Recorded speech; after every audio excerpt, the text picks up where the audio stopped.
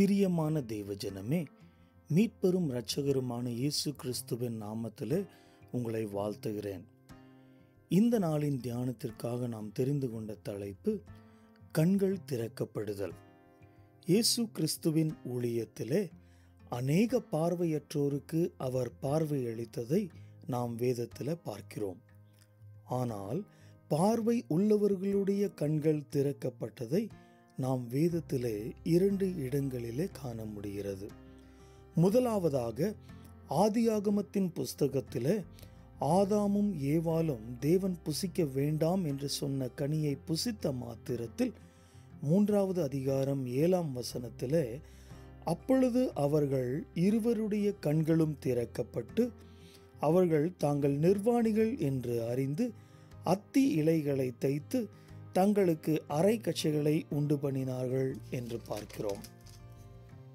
இரண்டாவதாக லூக்கா எழுதின சுவிசேஷம் இருபத்தி நாலாவது அதிகாரம் முப்பத்தி ஓராம் வசனத்தில் அப்பொழுது அவர்களுடைய கண்கள் திறக்கப்பட்டு அவரை அறிந்தார்கள் உடனே அவர் அவர்களுக்கு மறைந்து போனார் என்று பார்க்கிறோம். இந்த இரு வேறு கண்கள் திறக்கப்பட்ட சம்பவங்களும் முற்றிலும் முரண்பாடான பின்னணியங்களை கொண்டுள்ளது.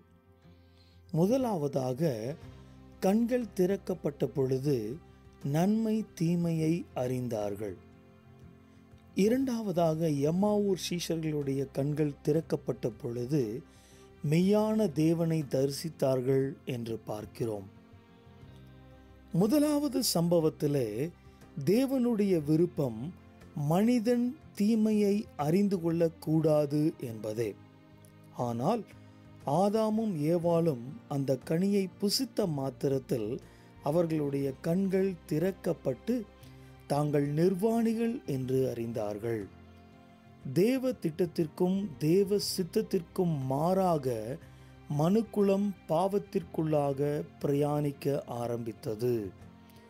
லூக்கா எழுதின சுவிசேஷத்தில் எம்மாவூர் சென்று கொண்டிருந்த அந்த இரண்டு சீஷர்களின் கண்கள் திறக்கப்பட்ட பொழுது இருபத்தி நாலாம் அதிகாரம் இருபத்தி ஒன்பது முப்பது வசனங்கள்.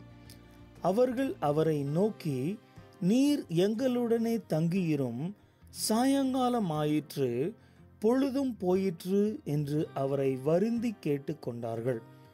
அப்பொழுது அவர் அவர்களுடனே தங்கும்படி உள்ளே போனார். அவர்களோடு அவர் பந்து இருக்கையில் அவர் அப்பத்தை எடுத்து ஆசீர்வதித்து அதை பிட்டு அவர்களுக்கு கொடுத்தார்.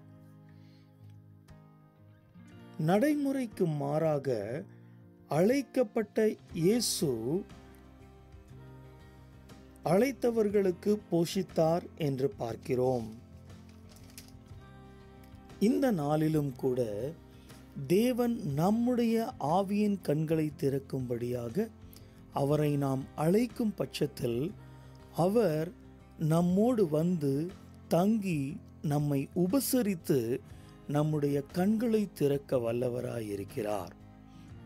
நாம் ஜெபிப்போம்.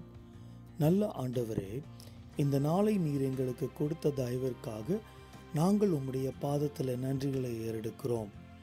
உலகத்தால் அலைக்கழிக்கப்பட்டு வாழுகிற எங்களுடைய கண்களை நீ திறக்க வேண்டுமாய் உம்மிடத்தில் ஜெபிக்கிறோம்.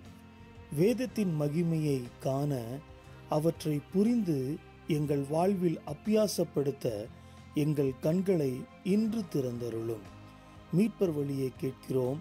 எங்கள் நல்ல தகப்பனே ஆமேன்.